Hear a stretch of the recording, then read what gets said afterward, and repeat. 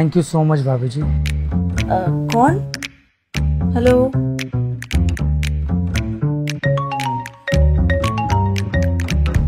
thank you so much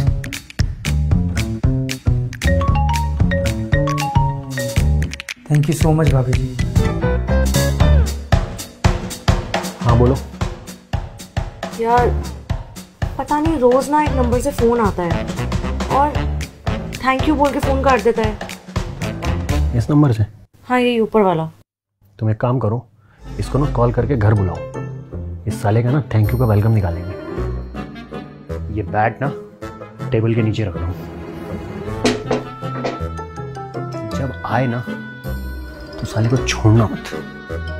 आज के बाद कोई उसे हैप्पी बर्थडे भी बोले ना तो भी वो थैंक यू बोलने लायक ना ऐसा कर देंगे ठीक है? देखो।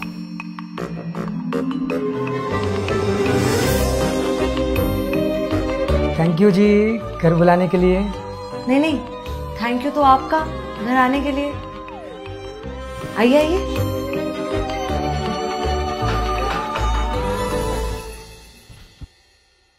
हाँ जी किस बात का थैंक यू करते रहते हो रोज? क्या कर दिया आपके लिए मैंने ऐसा?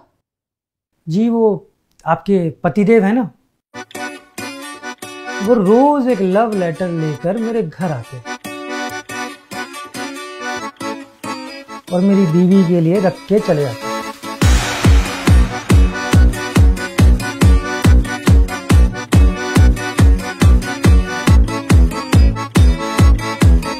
और ऐसा ना, पिछले एक हफ़्ते से लगातार हो रहा है।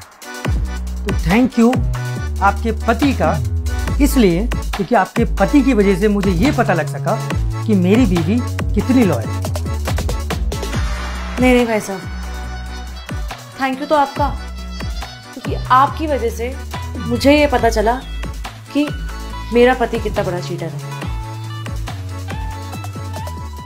Thank you so much